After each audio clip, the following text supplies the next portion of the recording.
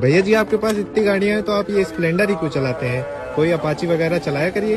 क्या? अपाची? अर्जी भौकाली लौंडा नहीं हूँ मैं।